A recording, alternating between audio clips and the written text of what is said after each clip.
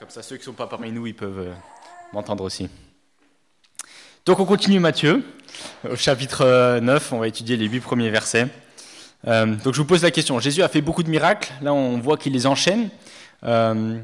qui peut me dire pourquoi bibliquement est-ce que Jésus fait des miracles? C'est quoi la, raison même des, miracles?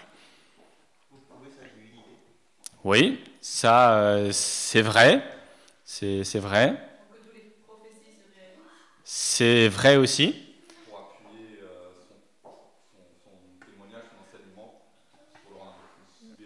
Oui, bien souvent c'est ça. Et euh, pour nous, pour ceux qui lisons les évangiles, Jean dit de façon explicite, je vais vous citer le verset, mais est-ce que quelqu'un le sait? Attends, Titi. Euh, oui, c'est vrai ça. Oui, exactement. Donc euh, je, je vous lis, hein, c'est Jean 20, 31 qui dit Ces miracles ont été décrits afin que vous croyiez que Jésus est le Messie, le Fils de Dieu, et qu'en croyant, vous ayez la vie en son nom. Donc l'idée, c'est de fortifier notre foi, c'est d'appuyer ce que, ce, que, ce que nous lisons euh, concernant Jésus dans, dans, les évangiles. Une sorte de preuve, hein, André a un peu dit ça. Avec ça en tête, je vous invite à lire le texte. Hein, on va lire pour que notre foi en Jésus grandisse, pour qu'on ait confiance en ces paroles qu'il a appuyées par des actes euh, spectaculaires. Donc Jésus monte dans la barque traverse le lac et se rendit dans sa ville. Des personnes lui amenèrent un paralysé couché sur une civière. Voyant leur foi, Jésus dit au paralysé, Prends courage, mon enfant, tes péchés te sont pardonnés.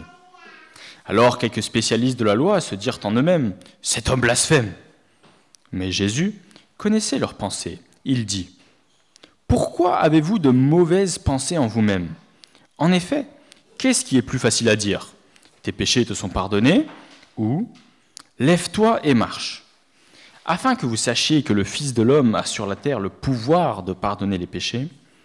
Lève-toi, dit-il au paralysé, prends ta civière et retourne chez toi. L'homme se leva et rentra chez lui.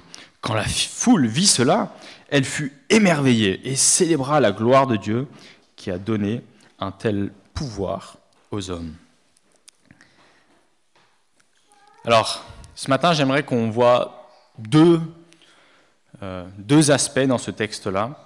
Le premier concerne les deux premiers versets, euh, très basiques, mais j'aimerais nous interpeller à ce niveau-là, c'est que Jésus nous pardonne de nos péchés.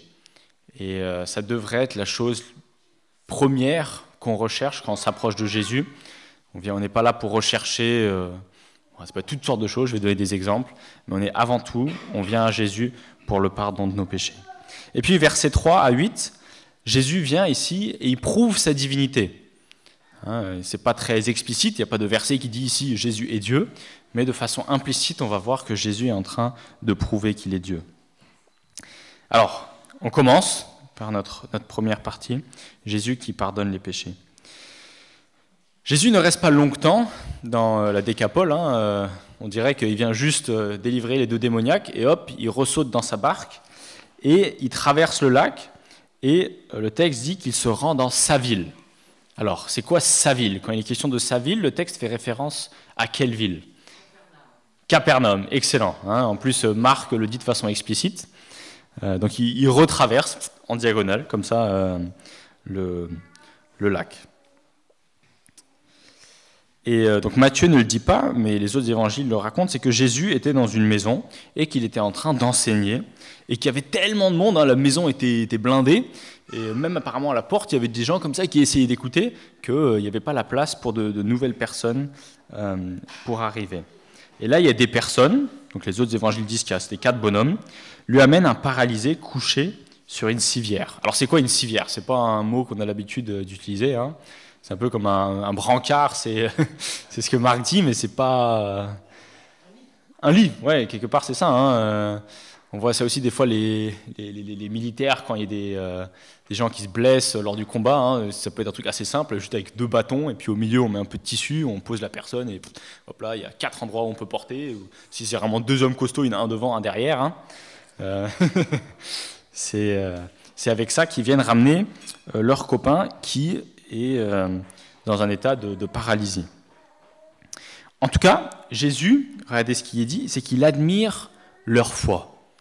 Déjà, ça, c'est surprenant. Hein. Il ne dit pas juste qu'il admire la foi du paralysé qui, vient le voir, mais c'est leur foi. Donc ça veut dire que c'est la foi en fait du paralysé, mais aussi des quatre bonhommes qui viennent lui apporter le paralysé. Et la réaction de Jésus, elle est, très belle, elle devrait nous toucher. Hein. Jésus n'est pas du tout en colère. Hein. Vous imaginez la situation, c'est un peu comme je suis pas Jésus, mais je suis en train de prêcher comme ça, c'est blindé, et puis voilà, euh, d'un coup, imaginez quelqu'un vient là, il enlève les, euh, c'est des tôles en acier qu'il y a au-dessus, il fait un trou, bah, il ramène euh, leur, leur, copain paralysé. On pourrait avoir la réaction de oh, mais pourquoi vous ramenez cette personne là J'étais en plein enseignement, c'est vraiment pas le moment, attendez que j'ai fini. puis les gens pourraient s'impatienter. Mais non, Jésus, pas du tout. Il, il, a compassion et au contraire, il est en train d'admirer euh, la foi de cette personne avec, euh, avec ses amis. Et Jésus est rempli euh, de compassion. Il dit Prends courage.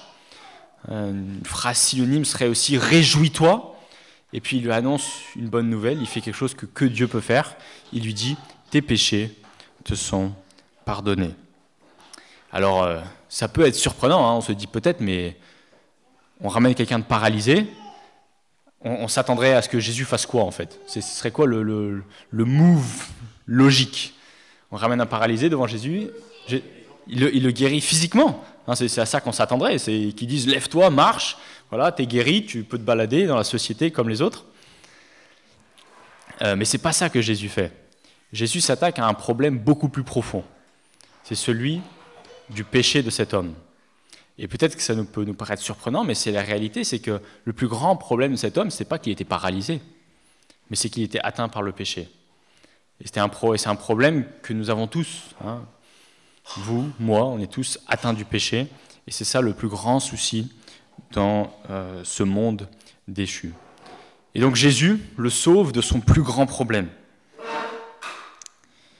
Et euh, c'est là que j'aimerais nous interpeller et nous poser la question, est-ce que nous qui venons à Jésus, est-ce que c'est vraiment dans un premier temps pour le pardon des péchés que nous nous approchons de lui? Ou est-ce que parfois votre tendance est de venir à Jésus parce que, on va donner quelques exemples, vous, avez des problèmes financiers, et donc vous dites, ah, j'ai besoin du Dieu de l'univers qui, qui m'aide dans ma situation difficile, j'ai des problèmes conjugaux, mon mariage, euh, il marche pas très bien, c'est pour ça que j'ai besoin de Jésus, pour qu'il vienne résoudre des problèmes. Je suis... Euh, prendre quelques exemples concrets, par exemple, Jocelyne, j'ai mal au dos, j'ai besoin de Jésus pour qu'il me guérisse physiquement. Est-ce que c'est ça la, raison principale pourquoi on vient à Jésus Je suis mélancolique, je suis en dépression, j'ai besoin que Dieu me, guérisse. Est-ce que c'est ça notre raison première pourquoi on s'approche de Jésus? Ben, En fait, ça ne devrait pas l'être. Notre raison première, ça devrait être pour le pardon de nos péchés. C'est ça qu'on veut rechercher dans un premier temps.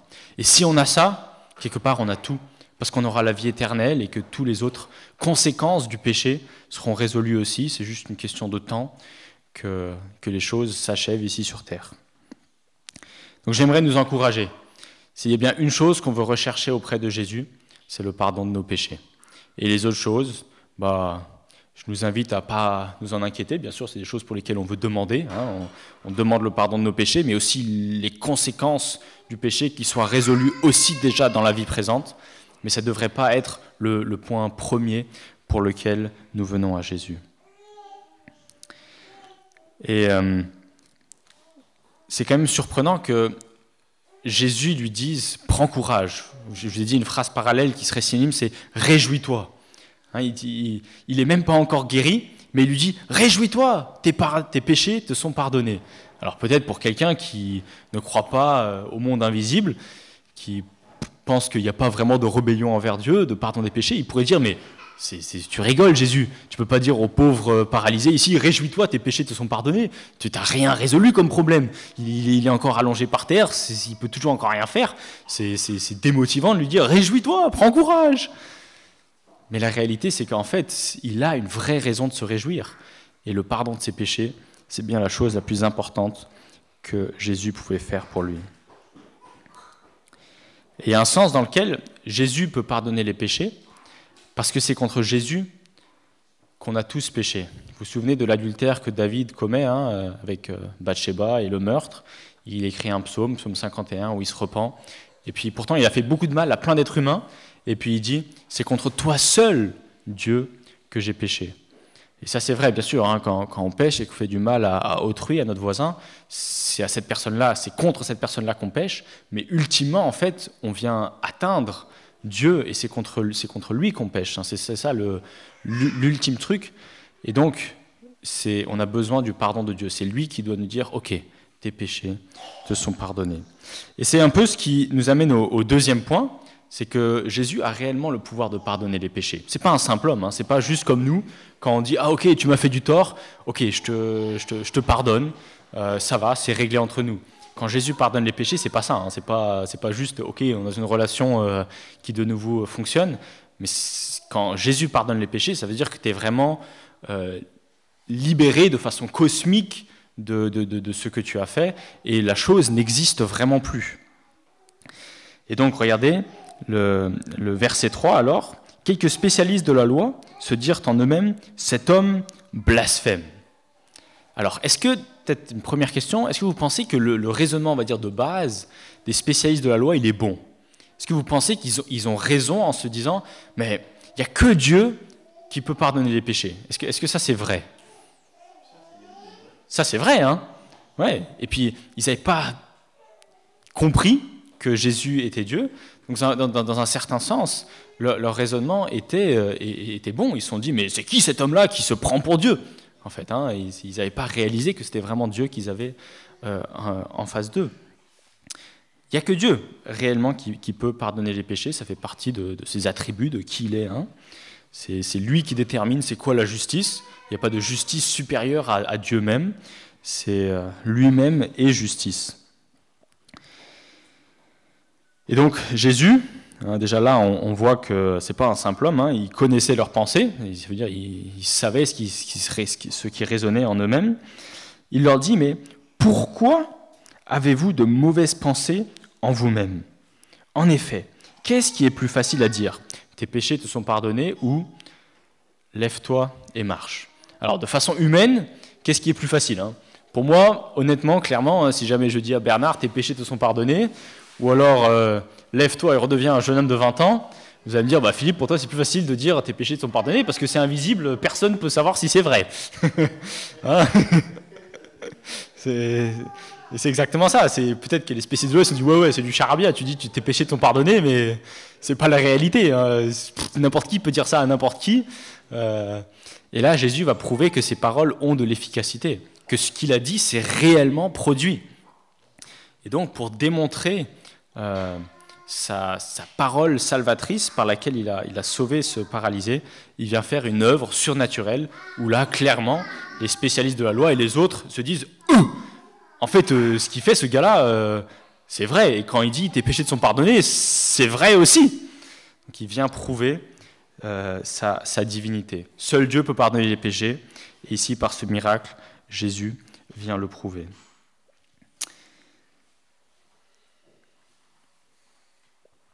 D'ailleurs, c'est exactement ce qu'il dit. Hein. Il le dit vers 6, afin que vous sachiez que le Fils de l'homme, donc le Fils de l'homme, hein, euh, Pierre David nous, l'a rappelé en lisant Daniel 7, hein, c'est la première fois qu'il parle de lui-même, et c'est un peu son expression favorite quand on lit les évangiles.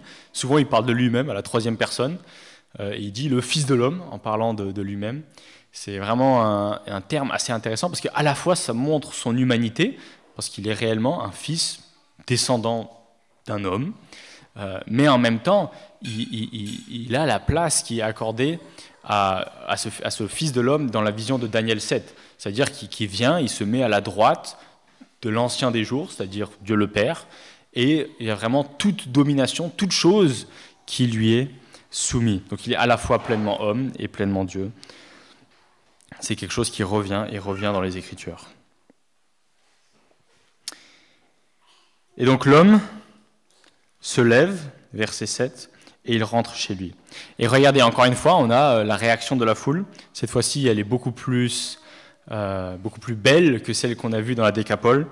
Quand la foule vit cela, elle fut émerveillée. Et ça, c'est ce qui devrait se produire en nous aussi. On devrait être émerveillé devant ce que Dieu a fait, ce que Dieu a fait non seulement pour se paralyser, mais aussi dans nos vies à nous, parce que nous aussi, dans un certain sens, nous étions paralysés spirituellement, et on a eu besoin que Jésus vienne, nous ressuscite, nous refasse fonctionner spirituellement, intérieurement. Et euh, la foule célébra la gloire de Dieu qui a donné un tel pouvoir aux hommes. Quand il est question de donner un tel pouvoir aux hommes, euh, c'est peut-être c'est pas dans le sens que les hommes ont reçu un pouvoir maintenant magique de faire des choses, mais c'est un pouvoir en faveur des hommes. Ça veut dire que les hommes maintenant peuvent bénéficier de la grâce euh, que Jésus leur accorde. Voilà, on s'arrête ici. J'aimerais juste qu'on rappelle peut-être les, deux points et en quoi ça devrait avoir une implication dans notre vie. Et puis je, vais prier pour clôturer. Donc le premier point, c'est que Jésus nous pardonne nos péchés et que nous, ce serait la chose la plus importante qu'on devrait rechercher. Les autres choses, c'est vraiment secondaire. C'est le pardon des péchés qu'on devrait rechercher. Et c'est ce que Jésus accorde à ce paralysé bien avant de le guérir physiquement. La deuxième chose, c'est que Jésus, c'est notre Seigneur, c'est notre grand maître. Il vient faire miracle après miracle et il vient prouver sa divinité, même face aux autorités spirituelles de l'époque. Il vient faire un miracle flagrant que personne ne peut nier. Il connaissait ce bonhomme-là et il, voilà, il, a, prouvé sa divinité. Et donc, ce que ça devrait créer en nous, c'est un émerveillement. Bien sûr, nous, euh, malheureusement, on n'a pas pu le vivre. Personne d'entre nous a vécu il y a 2000 ans en voyant ces choses extraordinaires que les gens avaient vues à l'époque. Mais on veut se les rappeler. Et c'est pour ça que les évangélistes ont écrit les évangiles, pour que notre foi soit fortifiée et euh, qu'on puisse être émerveillé de la grandeur de Dieu qui s'est fait chair. Je vais prier encore.